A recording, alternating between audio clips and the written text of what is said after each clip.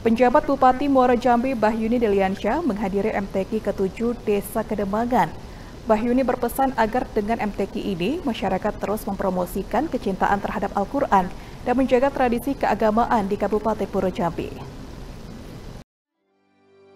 Bertempat di Desa Kedemangan, Kecamatan Jambi luar kota, penjabat Bupati Bahyuni Deliansyah menghadiri MTQ ke-7 Desa Kedemangan.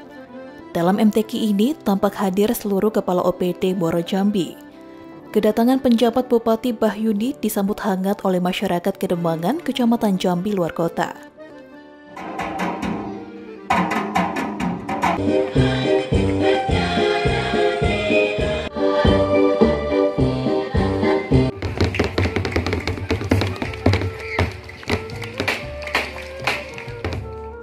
Dalam sambutannya, penjabat Bupati Muaro Jambi Bahyuni Diliansyah mengatakan, dirinya merasa bangga pada pelaksanaan MTQ di Desa Kedemangan yang begitu meriah.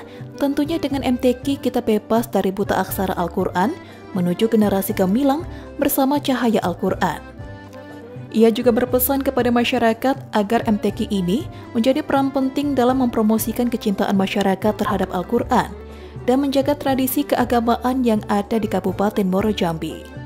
Saya sebagai Bupati Muaro Jambi hadir di Desa Kedemangan memenuhi undangan masyarakat karena masyarakat di Kedemangan merayakan pembukaan MTQ tingkat desa yang ketujuh. Karena apa? Masyarakat antusias karena sudah hampir tiga tahun kita tidak ada COVID, kegiatan ini tidak bisa berjalan.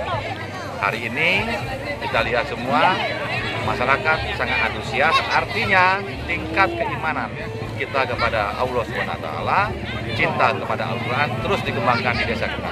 Menjadi contoh nanti ke depan bagi seluruh yang ada di Novia Putri Sanjaya, Cik TV, melaporkan.